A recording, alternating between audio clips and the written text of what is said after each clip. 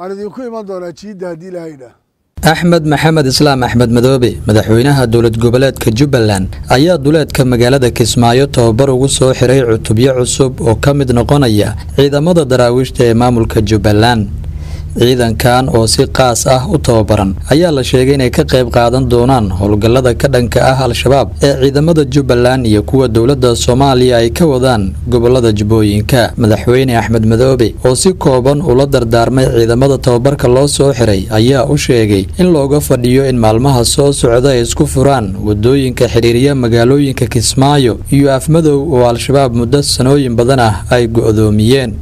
Idinkoo dhallinyaro maanta u badan waxaan rajaynayaa howlgalkaasi. Inuu ciidankaani afmadow iyo isu furo kismaayo.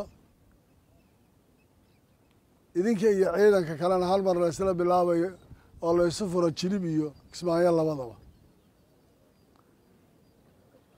Inaan isku tashanno oo inagu aan diyaar garowno oon howlgalkaas ka dhabaynaay waxay waxtar u tahay dadkeenna maanta hooyada gosha ku umusha.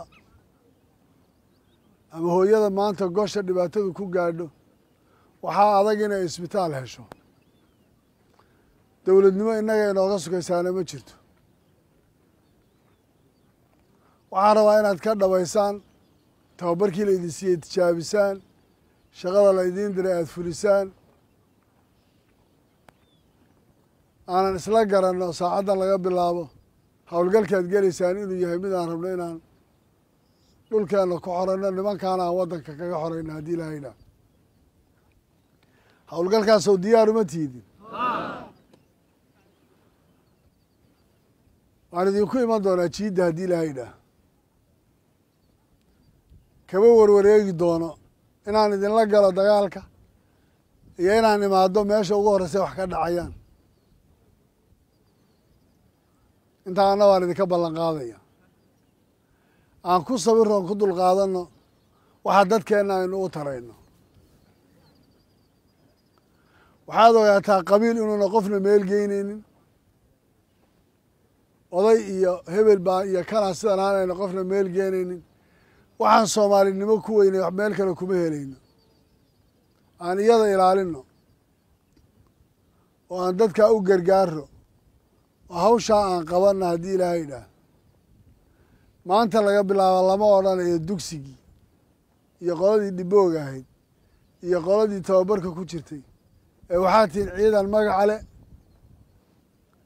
Ciidan waxa ugu muhiimsani waa amar kala qaadashada iyo dishbiliinka labadaa inuu ilaaliyo.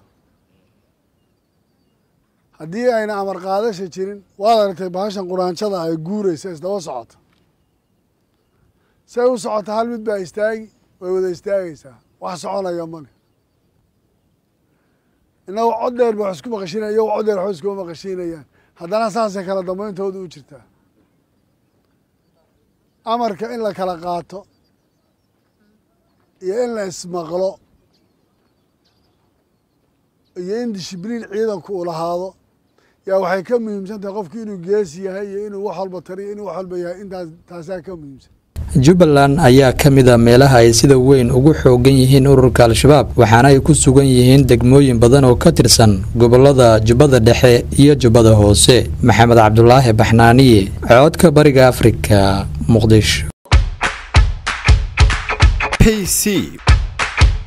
Waa ablication kuu sahlaya inaad si fudud lacag ugu dirto waddankii loo diruhuna uu ku helo saadkiisa iyo akownkiisa daarasalaam bank haddaba la soo deg abka payc